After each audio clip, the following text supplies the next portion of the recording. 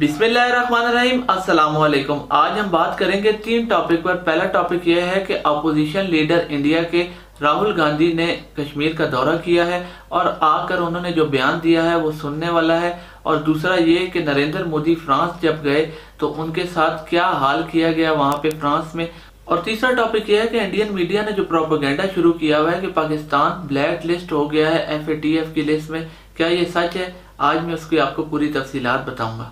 تو پہلے بات کرتے ہیں مقبوضہ کشمیر کی۔ مقبوضہ کشمیر جانے والے بھارتی اپوزیشن جماعتوں کے رہنماؤں کا کہنا ہے کہ مقبوضہ جموں کشمیر کے حالات نارمل نہیں ہیں۔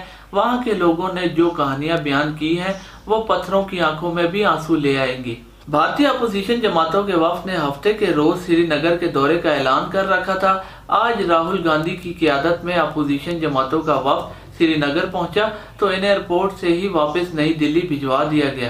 نئی دلی ایئرپورٹ پر میڈیا سے گفتگو کرتے ہوئے راہل گاندھی نے کہا ہے کہ کچھ روز پہلے جموں کشمیر کے گورنر نے انہیں کشمیر کے دورے کی دعوت دی تھی جو انہوں نے قبول کر لی تھی۔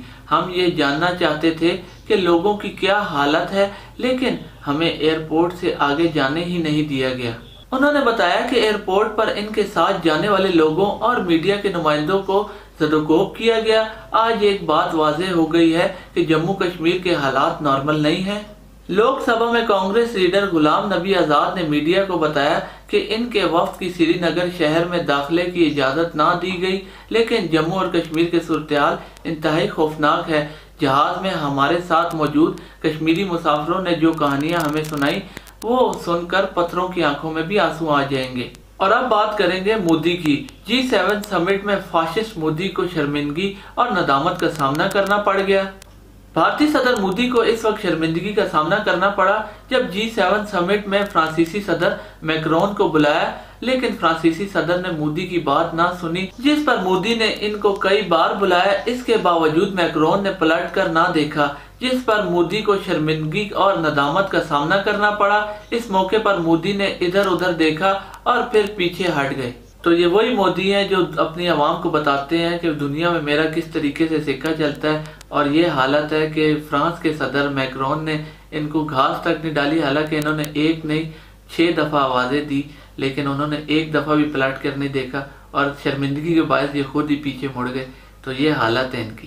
اور تیسرا ٹاپک یہ ہے کہ کیا پاکستان بلیک لسٹ سے نکل آیا ایف اے ٹی ایف کی؟ تو financial action task force F A T F کے ایک ترجمان نے بھارتی میڈیا کے ان رپورٹ کی تردید کی ہے، جن میں انہوں نے کہا تھا کہ ایف اے ٹی ایف نے پاکستان کو ایشیا پیسیفک گروپ نے پاکستان کو بلیک لسٹ کر دیا ہے۔